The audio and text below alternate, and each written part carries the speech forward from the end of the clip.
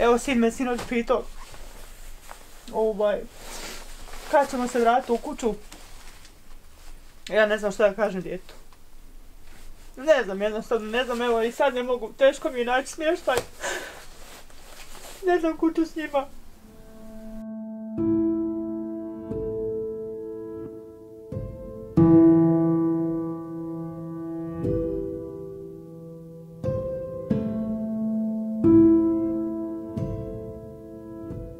Izbjegavam da dolazim tu, da, da ne mogu, kako god dođem, rasplačem se i ne mogu to više gledati.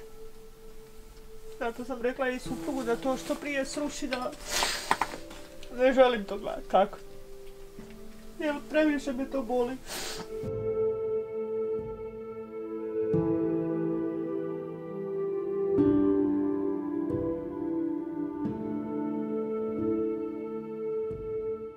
Ja sam stala tu na, na, u tom hodniku malome. On je meni sam rekao, krenuo se, kaže, uzimaj djecu, kaže, izlazite van, kaže, vatra gori. Kuća u plamenu.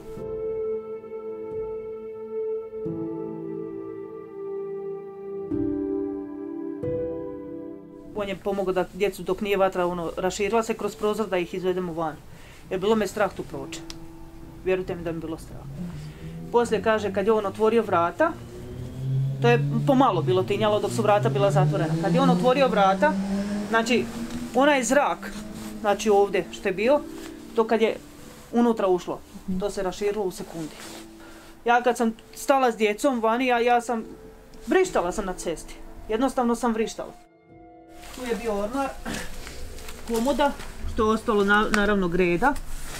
E, u toj, tamo je bio krevet. Bračni veliki njega nema, bio ormar, ni toga nema. Jedino ostalo je dječja soba, ali to je isto sve pitanje vremena kad će se sru, srušiti, šta će biti s tim. Evo, A šta ovo- ste uspjeli spasiti? Ništa, ništa. Ništa, jednostavno nisam ništa uspjela spasti, nažalost.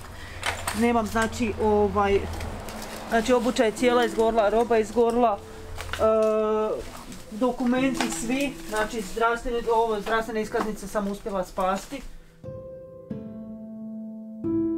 Ta je kuća kupljena prije pet godina. U stvari, tu kuću su djeca kupila. Sa dječjim doplatkom se ta kuća otplatila i ja sam išao u obnovu te kuće. I krenio sam sa fasadom i sa unutarnjim stvarima, međutim e, nisam došao do krovišta. To je malo već po- pozamata sifra e, oko toga. Pa smo čekali malo neke donacije oko, oko Nexea i vamo tamo preko centra da saniramo krov, međutim nismo ga dočekali. Evo, uvatilo je sasvim nešto drugo nam se desilo da, da je od dimnjaka se zapalilo to sve. Teško mi je naći smještaj. Ne znam kuću s njima. Ne znam, bio jedan, kažem čovjek je rekao, može, pa sad se premišlja, bi, ne bi, mislim, ne znam, ne znam. Ne znam, morat ću izgleda dalje neš- nešto tražiti, neki smještaj. Nemam pojma šta da napravim. A sada ste gdje? Kod kume vjenčane. Tu, u selu. Ali gledajte, ne mogu biti vješani kod nje, ona ima svoje troje djece. Ljudi mi pomažu, dosta. Javljaju se evo svaki dan i, i udruge i, Crveni križ.